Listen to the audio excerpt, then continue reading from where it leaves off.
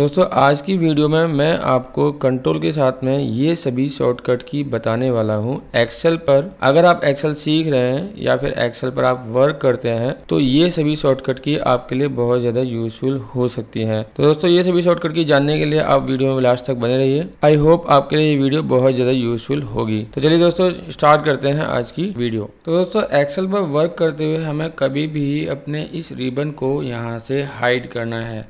तो उसके लिए सिंपल हम कंट्रोल के साथ में F1 बटन को प्रेस करेंगे तो हम इस रिबन को इजीली हाइड कर सकते हैं और अनहाइड कर सकते हैं यहाँ से कंट्रोल F1 बटन को प्रेस करके। अगली जो कमांड है हमारी कंट्रोल F2 तो कंट्रोल F2 जैसे ही हम प्रेस करते हैं कीबोर्ड से, हमारे पास देखिए यहाँ पर प्रिंट की कमांड निकल कर आती है। यानी कि एक्सेल पर हम किसी भी फ़ाइल को प्रिंट आउट देना चाहते हैं तो डायरेक्ट यहाँ पर हम कंट्रोल के साथ में F2 प्रेस करेंगे तो हम डायरेक्ट प्रिंट की कमांड यहाँ से दे सकते हैं। यहाँ से वापस निकलने के लिए हमें कीबोर्ड से स्कैप बटन प्रेस करना होगा, या फिर हम इस एरो पर भी क्लिक कर सकते हैं। अब दोस्तों, यहाँ पर अगली कमांड है हमारी कंट्रोल के साथ में F3 बटन जैसे हम कंट्रोल के साथ में F3 प्रेस करते हैं तो हमारे पास यहाँ पर देखिए नेम मैनेजर का ऑप्शन खुलकर आएगा। ये नेम मैनेजर ऑप्शन जो है हमें यहाँ पर फॉर्मूलाज टैब में यहाँ मिलता है, देखिए। इस ऑप्शन के लिए हम पूरी पूरी एक वीडियो बनाएँगे, क्योंकि ये ऑप्शन इस वीडियो में कवर नहीं हो पाएगा। तो दोस्तों, आगे चलते हैं। नेक्स्ट जो हमारे पास शॉर्टकट की है कंट्रोल एफ़ सिक्स तो अगर हमने अपने कंप्यूटर पर एक से ज़्यादा एक्सेल की वर्कबुक ओपन की हुई है तो कंट्रोल के साथ में एफ़ सिक्स बटन से हम एक वर्कबुक से दूसरी वर्कबुक पर स्विच कर सकते हैं इस तरह से। अगली जो कमांड मिलती है हमें वह है हमारी कंट्रोल एफ़ नाइन कीबोर्ड से जैसे ही हम कंट्रोल F9 प्रेस करते हैं तो देखिए हम अपनी करंट वर्कबुक को मिनिमाइज़ कर सकते हैं। और उसको वापस से रीस्टोर करना है हमें तो कीबोर्ड से ऑल्ट के साथ में टैब बटन प्रेस करेंगे तो इस तरह से हम उसको रीस्टोर कर सकते हैं। यानी कि कंट्रोल F9 प्रेस करते ही हम अपनी करंट वर्क को मिनिमाइज़ कर सकते हैं। जो भी हमारे पास वर्कबुक है, उसको हम इस तरह से मिनिमाइज़ कर सकते हैं। और ऑल टैब के साथ में हम उस वर्कबुक को वापस से रीस्टोर कर सकते हैं इस तरह से। अगली जो कमांड मिलती है हमें वो है कंट्रोल F10 कंट्रोल F10 से हम अपनी करंट वर्कबुक को इस तरह से थोड़ी सी मतलब जो छोटी करते हैं हम डिस्प्ले पर इसे रीस्टोर भी कर सकते हैं और वापस से इसको मैक्सिमाइज कर सकते हैं इस तरह से। यानी नेक्स्ट जो हमारे पास कमांड है कंट्रोल प्लस स्पेस बटन दोस्तों यहाँ पर जिस भी कॉलम में हमने कर्सर अपना क्लिक किया हुआ है कंट्रोल के साथ में जैसे ही हम स्पेस बटन प्रेस करते हैं, वो पूरा का पूरा कॉलम हमारा एक बार में ही सिलेक्ट हो जाता है। कंट्रोल स्पेस बटन इस तरह से हम पूरे कॉलम को एक बार में ही सिलेक्ट कर सकते हैं। इसी तरह से अगर हम पूरी रॉ सिलेक्ट करना चाहते हैं तो शिफ्ट के साथ में स्पेस बटन प्रेस करेंगे तो पूरी रो हमारी सिलेक्ट हो जाएगी इस तरह से। अगली जो कमांड मिल जाती है हमें यहाँ पर control right arrow left arrow up arrow and down arrow तो दोस्तों कंट्रोल के साथ में हम इन सभी एरोज़ को यूज़ करते हैं तो डायरेक्ट हम अपनी फ़ाइल के लास्ट में या फिर स्टार्टिंग में आ सकते हैं। यानी कि ये जो हमारी सीट है, इस पर हम अगर कंट्रोल के साथ में डाउन एरो प्रेस करते हैं तो सीट के लास्ट रॉ पर हम पहुँच जाएँगे यहाँ पर कंट्रोल डाउन एरो से इस तरह से। तो इस तरह से आप देख भी सकते हो कि आपकी जो एक सीट पर कितनी टोटल रॉ हैं। यहाँ पर देखिए दस लाख अड़तालीस हज़ार पाँच सौ छिहत्तर टोटल ड्रॉ होती है हमारी एक एक्सेल की शीट पर। यहाँ से हमें वापस ऊपर जाना है तो कंट्रोल के साथ में अप एरो इसी तरह से अगर हमें राइट में, यानी कि कॉलम देखने हमें लास्ट में कितने, कहाँ तक हमारे कॉलम होते हैं तो कंट्रोल के साथ में राइट एरो प्रेस करेंगे तो इस तरह से हम अपने कॉलम के लास्ट में आ सकते हैं। और यहाँ से वापस स्टार्टिंग में जाने के लिए कंट्रोल के साथ में लेफ़्ट एरो इस तरह से।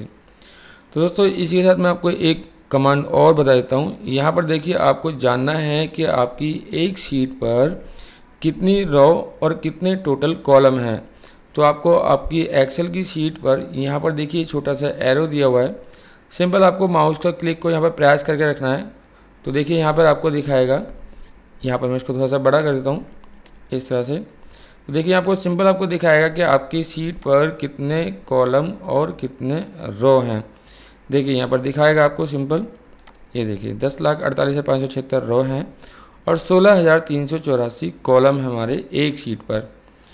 ओके नेक्स्ट जो हमारे पास कमांड मिल जाती है, वो है कंट्रोल होम तो दोस्तों, हम एक्सेल की सीट में कहीं पर भी वर्क कर रहे हैं और हमें डायरेक्ट यहाँ से स्टार्टिंग में अपनी एक्सेल वर्कबुक के स्टार्टिंग में यानी कि फ़र्स्ट रो फ़र्स्ट कॉलम पर पहुँचना है।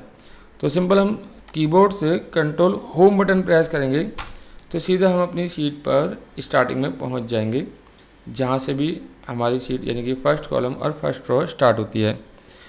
नेक्स्ट जो हमारे पास कमांड है, वो है कंट्रोल एंड बटन तो दोस्तों, हम यहाँ पर फ़ाइल में वर्क कर रहे हैं, और यहाँ से हम अपनी सीट के, यानी कि यहाँ पर हमने लास्ट वर्क किया हुआ है, वहाँ जाना चाहते हैं तो कंट्रोल एंड बटन प्रेस करते ही अपनी सीट के लास्ट जहाँ पर हमने वर्क ख़त्म किया होगा, वहाँ पर हम पहुँच जाएँगे इस तरह से। अब दोस्तों एक्सेल में कंट्रोल के साथ में प्लस बटन से कमांड चलाने के लिए हमने यहाँ पर एक छोटा सा डाटा क्रिएट किया है।